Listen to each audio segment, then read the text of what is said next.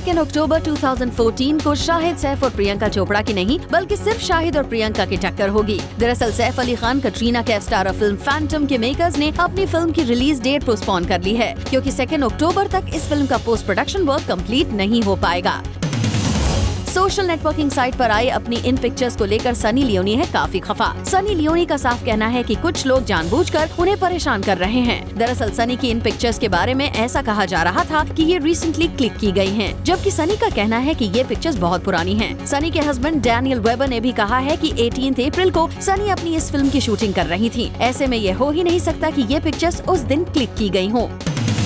Actor Inder Kumar पर recently rape का आरोप लगा था और अब इस मामले में इंदर की वाइफ खुलकर उनके बचाव में उतर आई हैं। इंदर की वाइफ ने एक प्रेस कॉन्फ्रेंस में अपने पति पर लगे सारे आरोपों को गलत बता दिया प्रीति जिंटा और नेस वाडिया का ब्रेकअप काफ़ी पहले हो चुका है, लेकिन लगता है अभी तक इन दोनों सेलिब्रिटीज के बीच की प्रॉब्लम्स खत्म नहीं हुई हैं। तभी तो ये दोनों सेलिब्रिटीज अपनी क्रिकेट टीम को चेयर करने स्टेडियम में आ तो रहे हैं, लेकिन ये दोनों एक दूसरे से काफ़ी दूरी बनाकर रखते हैं हम आपको बता दें कि नेस और प्रीति का रिलेशन काफ़ी सीरियस था, और ये दोनों स्टार शादी करने की प्लानिंग कर रहे थे टाइगर श्रॉफ की फ़िल्म हीरोपंथी अभी भले ही रिलीज़ नहीं हुई, लेकिन सोशल नेटवर्किंग साइट पर टाइगर काफ़ी पॉपुलर हो गए हैं। तभी तो Tiger recently all over India trends में नंबर फाइव पर ट्रेंड कर रहे हैं। टाइगर को इस तरह सोशल नेटवर्किंग साइट पर ट्रेंड करता देख सभी सरप्राइज़ थे। ऐसे में हमने जानने की कोशिश की कि आखिर इस पॉपुलैरिटी की वजह क्या है। वेल तो जनाब आलोक नाथ नील नितिन मुकेश रजनीकांत जैसे स्टार्स के बाद अब सोशल नेटवर्किंग साइट पर टाइगर का मज़ाक बनाया जा रहा है। इन कुछ ट्वीट को जरा आप भी देख लीजिए। Tiger Shroff debut movie would premiere on animal planet. Tiger Shroff and Shah Rukh Khan should be signed as the brand ambassadors of Wagh Bakri Chai.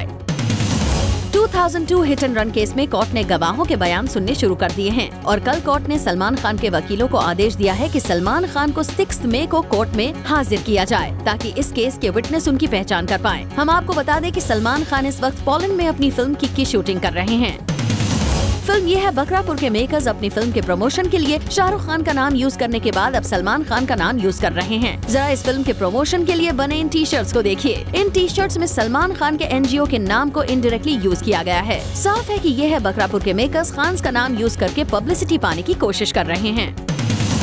Kangana Ranaut की फ़िल्म रिवॉल्वर रानी के डायरेक्टर साई कबीर उनके काम से इतने ज़्यादा खुश हैं कि उन्होंने अपनी एक और फ़िल्म में कंगना को साइन कर लिया है। कंगना स्टारर इस फ़िल्म का नाम डिवाइन लवर्स होगा और इस फ़िल्म में इरफान खान कंगना के ऑपोजिट नज़र आएँगे। खबरों की माने तो क्रिकेटर विराट कोहली अनुष्का शर्मा को उनके बर्थडे पर सरप्राइज़ देने राजस्थान जाने की तैयारी कर रहे हैं। सोर्सेज की माने तो यूएई से 2020 क्रिकेट लीग की मैचेस को खत्म करके इंडिया लौट रहे विराट फ़र्स्ट मई को राजस्थान में अनुष्का का बर्थडे सेलिब्रेट कर सकते हैं। अनुष्का की इस बर्थडे पार्टी में कुछ बॉलीवुड सेलेब्स भी शामिल हो सकते हैं। अनुष्का फ़िलहाल राजस्थान में अपनी फ़िल्म एन एच की शूटिंग कर रही है। रणबीर कपूर और कटरीना कैफ के रिश्ते की सच्चाई अब हर कोई जान चुका है। लेकिन रणबीर हैं कि अभी भी मीडिया के साथ हाइड एंड सीख का गेम खेल रहे हैं। कल शाम हमने रणबीर को उनके फ्रेंड अयान के साथ स्पॉट किया। कटरीना भी इन दोनों स्टार्स के साथ मौजूद थी। लेकिन कैमरा देखते ही रणबीर ने कैच को दूसरी गाड़ी ऐसी घर भेज दिया।